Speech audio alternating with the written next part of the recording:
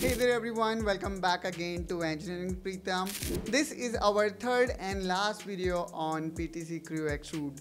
If you haven't checked our first two videos then I would suggest you to check those videos out as we have covered almost all aspect or all capability of extrude feature inside PTC Creo Parametric.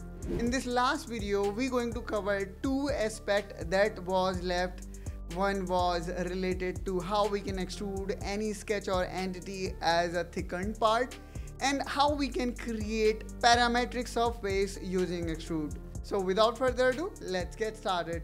Okay, so now here we are in our computer screen and as you can see here, I already have created our part. Now let me actually quickly create a sketch and to be honest guys i'm gonna create a simple analytical geometry. For example this rectangle. And um, now let's try to extrude this. So let's click on extrude. Let's select this geometry.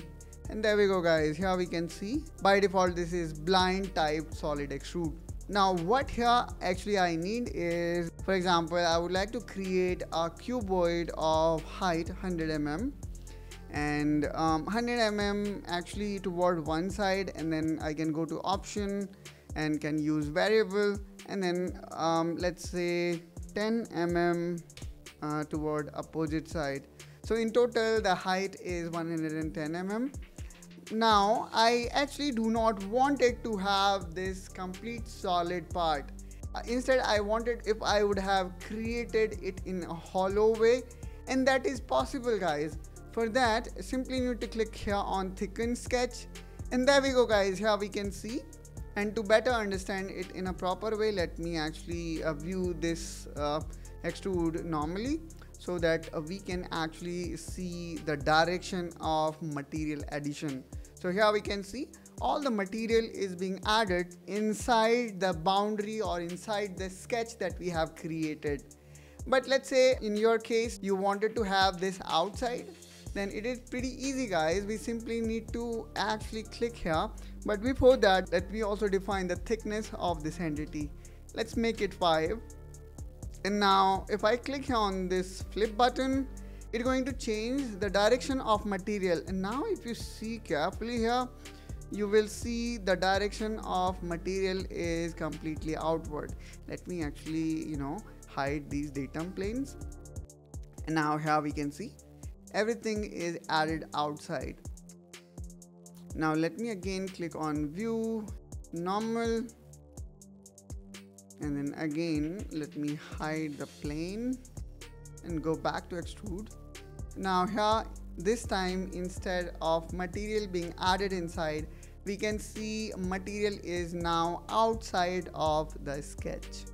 And here also we can see the thickness of material is 5 mm now what if I would like to add material equally both sides? That is also possible guys. For that simply again click on this flip button and there we go. Now we can see material is being added equally inward and outward. In this way guys we can create thickened part inside PTC Creo parametric. By making click on this flip icon it will provide you all feasible possible combination now based on your need you can choose anyone. And there we go guys. In this way we can create this thickened part. Now let's say you do not want thickened part. So let me actually delete this and let's unhide the same sketch.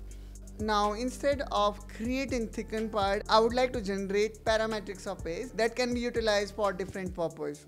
Now let's see how we can do that. Again let's click on extrude and then same sketch here I'm gonna again put 100 and if I go to option variable and the value here was 10 and this time I'm going to click here on surface and there we go guys. Instead of a solid body or solid part we can see we were able to generate a parametric surface inside Creo.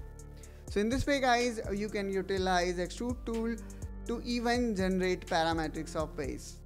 This completes our third and last part of extrude capability inside Creo Parametric. That's all guys from my side in this video. I hope that you find this video helpful and informational. If yes, then do like and subscribe to Engineering Pritam to follow complete PTC Creo Parametric series.